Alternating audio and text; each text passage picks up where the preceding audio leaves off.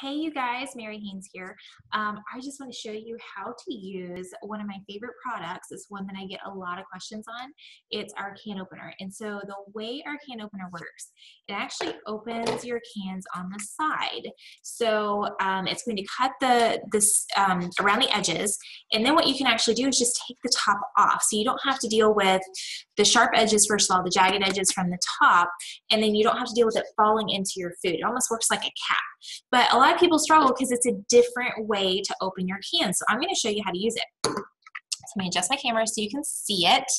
So what you're going to do is you actually, you know, you don't go like this, like a traditional can opener. You just lay it on top and um, the the lip right here, this little edge, goes in between this piece and this piece. You're going to put it in between.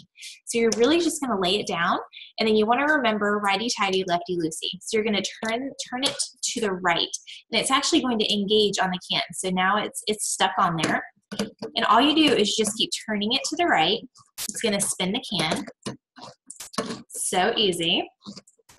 And then you're going to feel it get easy it's all of a sudden now it's easier. So don't try to rip it off.